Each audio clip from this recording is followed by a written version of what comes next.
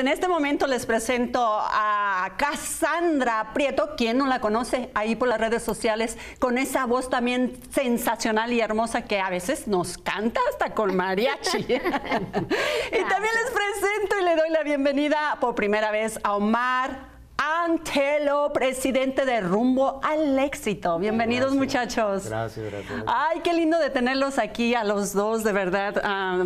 personas lindísimas, personas que son exitosas en sus carreras y personas con un gran corazón. Los adoro. Gracias, a ti por tenernos. Es mi segunda vez aquí. ya me estoy sintiendo VIP.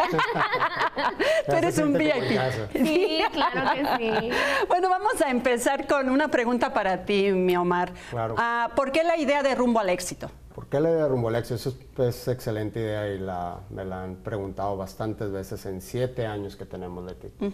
Siete años, esta idea nació en el 2014, después de de estar acudiendo a diferentes cámaras de, comercio, a diferentes partes donde podía uno prospectar, buscar negocios, referencias. Y por más que íbamos, al final de cuentas no, no alcanzábamos a tener la meta que buscábamos. Entonces nos, se me ocurrió la idea de, de, este grupo, Rumbo al Éxito.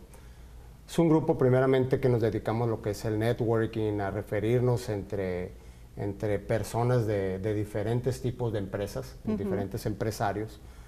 Ah, y entonces la idea inició más porque sentíamos que estábamos fracasando ah, en el momento de buscar más referencias yendo a este tipo de lugares. empezamos a crear este grupo, empezamos ah, con una base de empezamos entre cuatro personas y llegamos a ser 37 personas. Ahorita somos solamente 22 pero la idea de Rumbo al Éxito es trabajar juntos y tenemos un lema, lo que es en Rumbo al Éxito, que juntos somos mejor. Ah, entonces nos iniciamos como familia y nos referimos entre, entre, entre los tipos de negocios de los miembros que están en Rumbo al Éxito. Wow. Eh, y para ti, mi Cassandra, ¿cuál, ¿cuál es la diferencia de rumbo al éxito a otros, a otros pues negocios que hacen este tipo de, networking?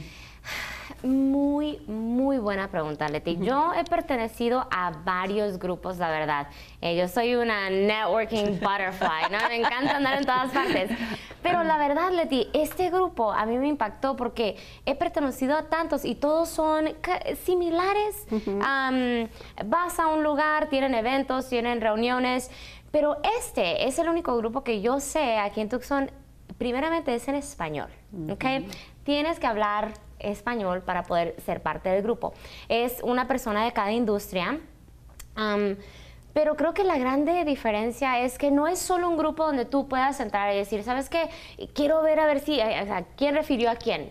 Eh, hacemos un esfuerzo tan grande para vernos frecuentemente para también crear una relación entre cada uno. Em, yo creo que como hispanos, pues nosotros, o sea, fiestas y todo, somos de abrazos, somos de...